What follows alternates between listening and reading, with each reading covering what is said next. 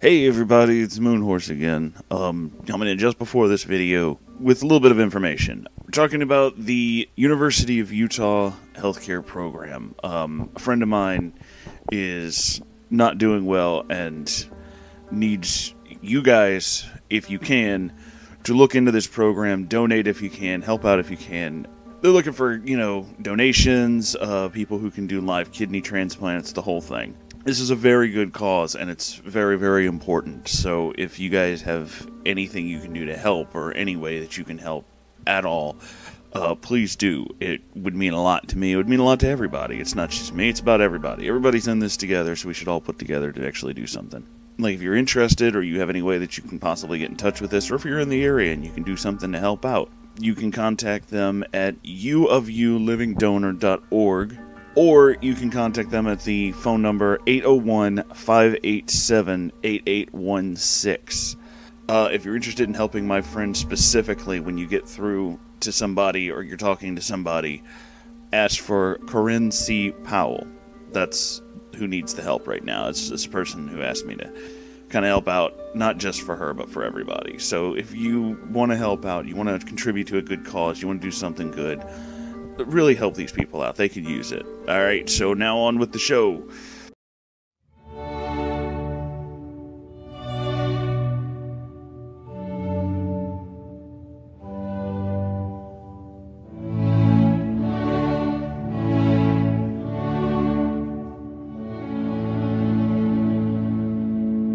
Hi, everybody. You came back. I'm not sure why I did that voice. Welcome back, though.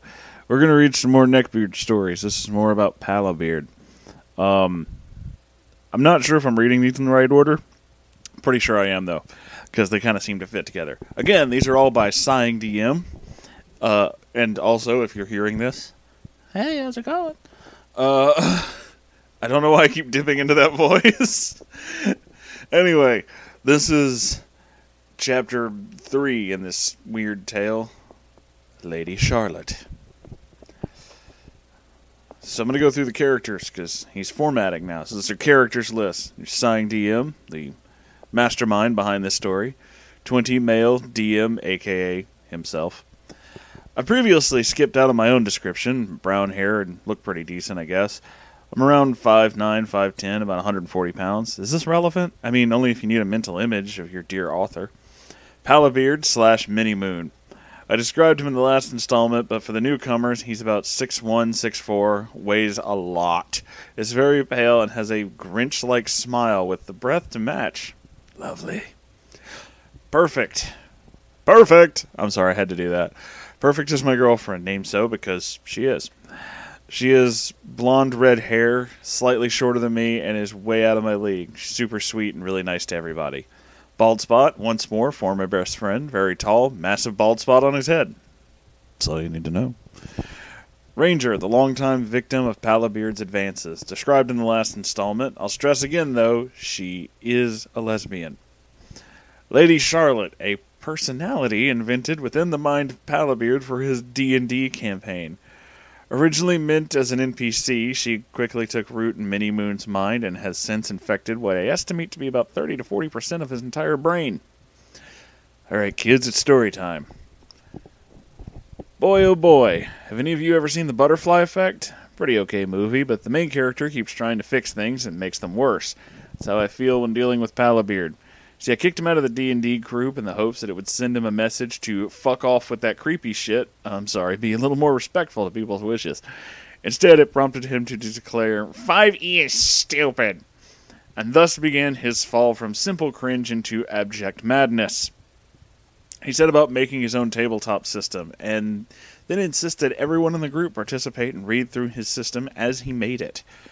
At first, it didn't seem so bad. Of course, the system had some classes, classed and races horribly overpowered. That he would ignore anything said about that. But for a brief moment, I thought, hey, you know what? We might enjoy it. Then he began making NPCs. Now, I myself normally make a few political figure types and other NPCs, either in session or according to players' backstories. Palabeard decided to simply make all the NPCs he wanted for us to interact with right off. Thus, Lady Charlotte, not what he called her, was born. In the beginning, he would simply reference her as a quest giver, and then he started speaking in her voice, a shrill, overly joyful, bad impression of a female voice who would lead every conversation with, Oh, hello, darlings! And then would arch his back straight up and wave his right hand about as he spoke as Lady Charlotte. Fuck. He would then try to flirt with all of us, all of us, as Lady Charlotte. He would spam the group chat with paragraph upon paragraph of dialogue from her and how she's open to all sexual taste, my darlings. Recorded for you as a sample of that conversation at this time. Lady Charlotte. Oh, hello there, darlings! Waving hand around as he lumbers towards our position. hey, Palabeard, look, maybe you could lay off on the.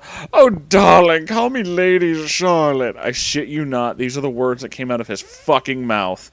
Ranger, dear, why don't you sit next to me so I can get to know you better? He then broke from the facade for a moment to unleash a hideous cackle. His prey squirmed underneath his stare. Ranger, Palabeard, please stop. Please. Seriously. Lady Charlotte resumes. Oh, come, darling. Everyone needs some lovin', and you're so lonely. He sat next to Ranger and set his iron gaze upon her, his hungry mouth agape as he cornered his helpless victim, slimy tongue tracing his teeth. Ew. I knew only one thing that could save her from the advances of this new hybrid creature. Uh, Pala, I'm sorry, Lady Charlotte. Why don't we go get a coffee and a cookie? I'll, I'll buy. I knew I was endangering myself, but what is a DM without his players? His gaze shifted from Ranger to me, eyes narrowing and a Grinch like smile on his face. Why, how could I refuse such nice manners, darling? It's actually written like that, by the way. Uh, with a look to Ranger, I said, I'm fucked. Please pray for me.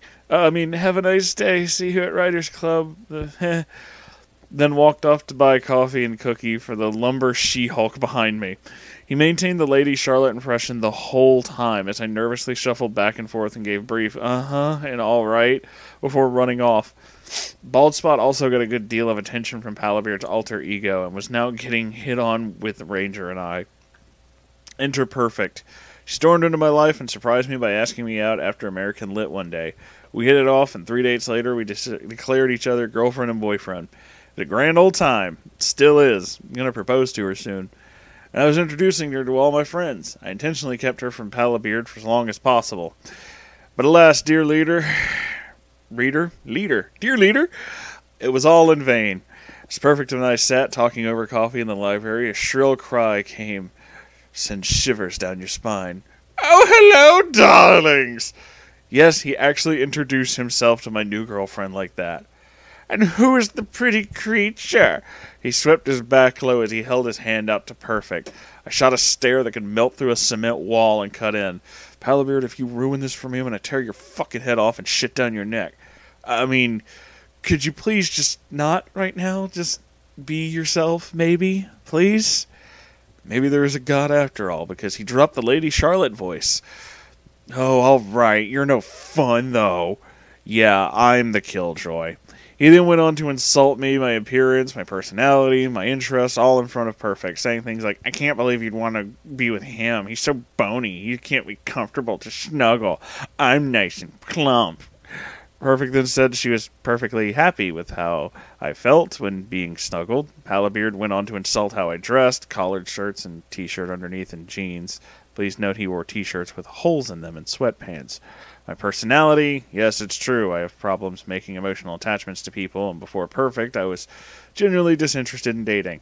This went on for 30 minutes as he kept making creepy glances at her, and she kept refuting what he said about me before she flat out said, You seem like one of those people who says girls won't date you because you're too nice. You own a fedora by chance? Let me tell you, we'd only been dating for about a week or two, but I got the vague feeling right then and there that I would never find someone more abjectly perfect. I'm normally really nice, but I am. No, stop laughing. I am.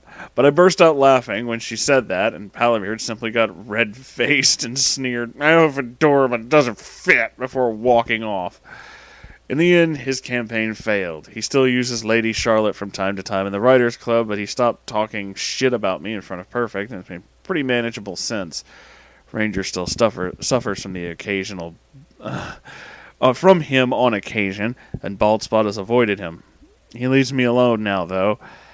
Now I know you're all worried that this may mean no more Palabeard stories. Don't. I have plenty more to come.